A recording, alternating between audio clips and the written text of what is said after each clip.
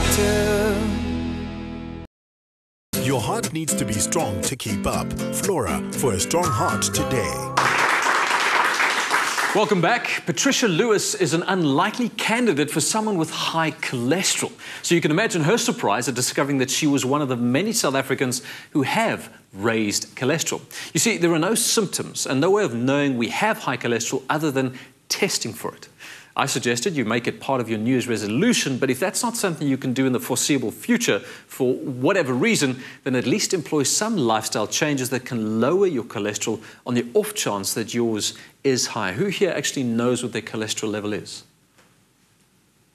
Someone put up your hand. Okay, one person. Wow. Statistically, shock. So the first of those is to lose weight. Losing as little as 5% of your body weight can help significantly reduce cholesterol levels. Eat heart healthy foods. It's never too late to start, and by that I mean eat healthy fats and eliminate trans fats. Get in whole grains, more fruits and veggies, which are rich in dietary fiber and can help lower cholesterol, and eat foods rich in omega 3 fatty acids, which can help lower your bad cholesterol, that LDL. Exercise can help raise your good cholesterol, HDL. So aim for 30 minutes most days of the week. And finally, if you smoke, stop. Quitting may improve your HDL cholesterol level, but the benefits don't end there. Just 20 minutes after quitting, 20 minutes, your blood pressure decreases. Within 24 hours, your risk of a heart attack decreases. Within one year, your risk of heart disease is half that of a non smoker. Those lifestyle adjustments will go a long way to helping you keep your cholesterol in check. It's worked for Patricia, and it'll work for you too. Patricia Lewis, South Africa's blonde bombshell, built on a successful music career with a hit TV show and then took some time off to focus on her health. Now she's back in shape and back in business. So, Patricia, it is great to have you in studio. Uh, Hello, Michael you Mol. looking amazing. I've got Thank to tell you you. this. You I, too. I disagree with Max, your son, who Oh, my said, son. "My mom's a chubby mommy." You are anything but a chubby mommy. Chubba Mama. Chubba Mama. In the fact, word. stand up quickly. You might Oh, show us, show I've us what you've recently done. lost This is- 10 kilos, Wow. ladies and gentlemen. Yes, you Wow, can. look at Yes, that. that's not a word. and I'm, I'm in my gym clothes, okay, and I'm, it's, and I've just released a DVD. It's gymming and it's dancing. So my gym clothes are on and my dancing clothes are also on, okay? I told you there was a reason why I look this ridiculous. Okay, let's carry on. Trisha, you've done very, very well. But I mean, it, a, a year, a year and a half ago, two years ago, you weren't like this. You picked up how many kilograms? I mean, that was an 10 issue. for you. kilos, yes. You know, when I when I turned 40, I was um, uh, 53 kilos almost all my life. Yeah. Uh, never had a weight problem, naturally thin. If there is something like that, I don't know. But when I turned 40, things changed, and uh, within a year, I tell you, I put on 10 kilos. I didn't know what was going on. I ran a thousand kilometers on the treadmill. I starved myself, and nothing would budge. That scale was stuck, I tell you. And and it was rising, and I was getting very worried. And I thought, oh, what's going on? And then I had some blood tests done, and they, they found I'm carbohydrate sensitive and insulin resistant. And my husband says a bit of mental problems added in as well. So to cut another long story short, it took me quite a few years to actually find out what to do, how to do, when to do, why to do. And eventually I lost that 10 kilos. It was a battle, but uh, nothing in life comes without a, No, a good fight. And man, I was ready for this fight because I was tired. You invited me onto this show about a year and a half That's ago, right. and I said, Thank you so much, but no.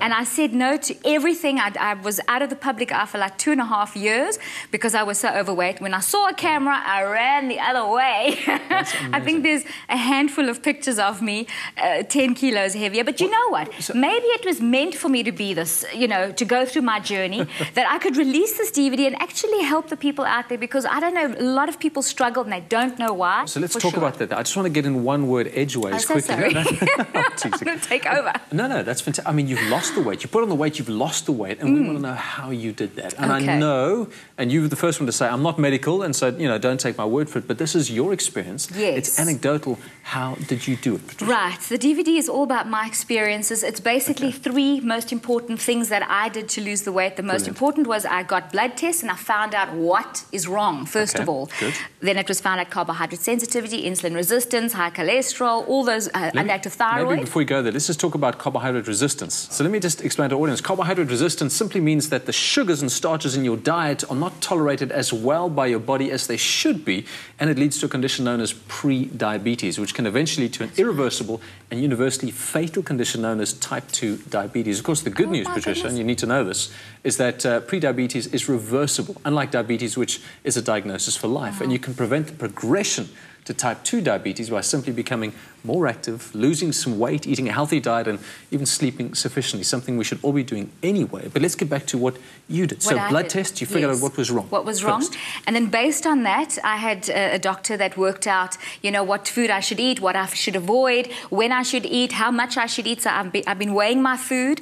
I've been eating three meals a day with five hour intervals, works like a bomb. okay. Um, I mean, you have to eat to be slim. Let me say that again. You have to eat to be slim. That's Who very knew true. that?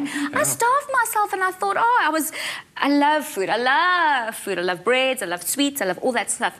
So when they said to me, you have to eat to be thin, because I'd been starving myself for the last few years and nothing worked. And the problem with starving yourself is your body's going, wow, I'm getting no food, so I've got to It hold on to everything. It stores, Yes. yeah, and that's the last thing you want. You don't want to store, yeah, you want exactly. to You see, I'm blonde. I didn't know these things. Eventually, I found it out, Okay. was so happy. So you did your blood test, and you, you basically eat Started to lose weight. Eating. slim, fantastic, but eating That's properly. right. yeah. Eating correctly. And I think as importantly as eating correctly, you need to bring a little bit of exercise back into your life. Why? Because it lets the blood flow, you feel better.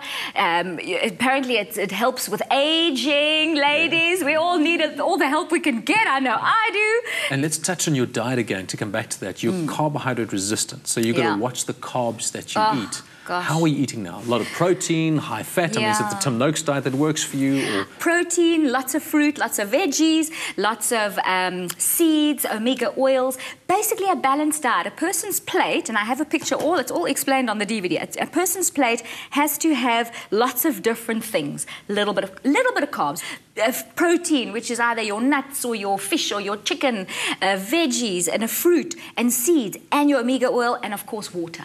So it's once Yep. again a balanced diet. Everyone says, well, it's a balanced diet?" I used to think a balanced diet was chocolate and a fruit. I'm balanced. it's not a balanced diet. So now I really have a balanced diet. You know and what I'm loving about what you're saying here, Patricia, is we know that you're not medical, but you've gone, sure. but you've gone and educated yourself. And you've learned and you've read up and you now know what works for you and it does work. I mean, you're the living proof of that. And I think that is fantastic. So I have muscles salute again. that. Look, feel. May he feel, honey. Which other muscles? Oh, no, okay, I won't you know. I know, but I And have to that's tell you as well. it? He said that he couldn't believe that I've lost 10 kilos. Anyway, I, I'm top heavy and I put on weight top heavy. I mean, you know, everybody's different. And I was just saying to him, listen, you wouldn't have recognized me. I didn't look like Dolly Parton. I looked like Dolly Parton's mother. I mean, you can imagine what that must have been. I'm trying to get the image out of my mind, Patricia, you know. so- anyway. Okay, so let's let's talk best health lessons. I mean, we've had a lot of discussion, you know, just in the, the last few mm-hmm. moments. Try and put that in a nutshell. What, what's what's your number one health lesson that you learned? The one lesson that you that you would impart in a tweet. If all you could give us was a tweet, A what tweet. would that tweet be? Oh my gosh, self happiness. To be happy within yourself, and then you can really go out there and do anything. And I'm so lucky I have a fabulous husband and the most gorgeous child, so I'm automatically happy.